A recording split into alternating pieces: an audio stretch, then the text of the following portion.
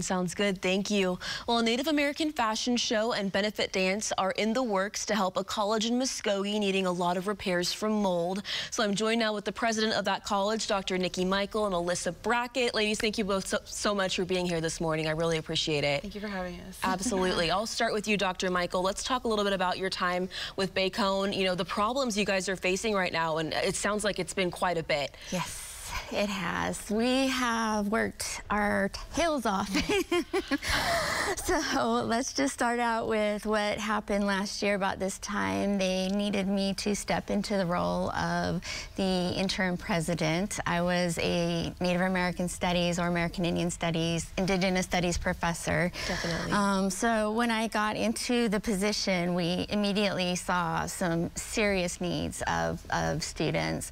One, the gym that we had installed two years earlier had bowed up um, from leaks and water.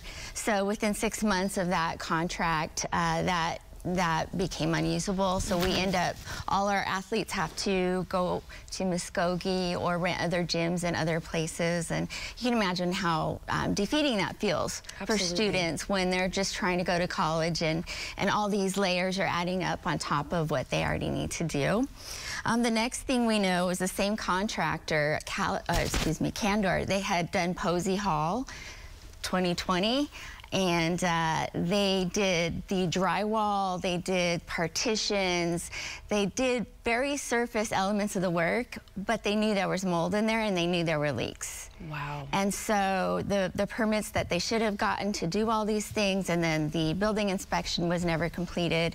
Um, as a result, uh, two years later, I find myself in this position. Of course. And we had to remove 50 students after finding out that the, the mold levels, the black mold, was at lethal levels. DMI helped us uh, measure all the different buildings, um, but that was one of the most heartbreaking. And so if you can imagine what this is like, this is a, a Native American serving institution, mm -hmm. but we also house, you know, anybody who comes to our school, right? So you got Absolutely. high proportion of Latino, Latino or Latina, and then we also have African American and, and white students there. Um, but to, to give it to you like this, you know, you're talking about a population of students who have endured, right? They're not the top echelon of their classes.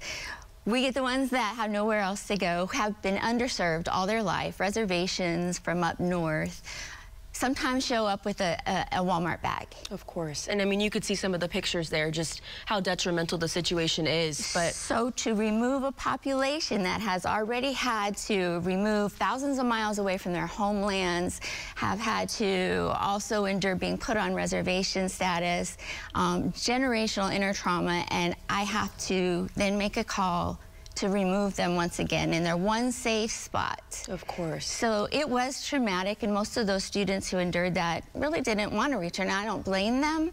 So we had a new set of students coming in this year we were still unable to secure any uh, loans or basically uh, any funding whatsoever. BIA doesn't help us, BIE doesn't help us, and, and it really is upsetting to me because these students are native. These Absolutely. are the entitlements. The, the Cherokee had the Trail of Tears, the Choctaws, all those different events that have led to where we're supposed to be serving our students, and they're not. Absolutely. Regardless, and, and real quick, you're running out of time Sorry. here. I want to talk real quick about the fact that you guys are helping out with this fashion show. How did this all become a part of it, and what are you guys working on to make this right and to, to get you guys some help? So we really wanted to put something together that brings the community together. And, you know, they kind of thought whatever we can do. And uh, that became a fashion show.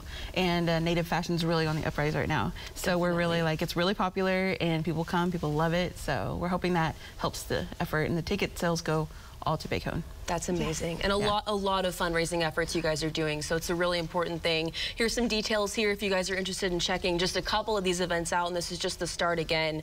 Um, so let's start right here. I'm just going to scroll through. So this benefit dance, that'll be held February 4th. That'll be at 6 o'clock at Bacone College. There's also going to be raffles, an auction, vendors there. That fashion show and auction, that'll be February 11th. That'll be at 3 o'clock at the college chapel. And again, all those proceeds go right back to the students, to the dorm, and to help your mission. Ladies, yes. thank you both so much for thank being you. here. I really appreciate it. And again, we'll have a lot more information, a lot more news coming up right after this break.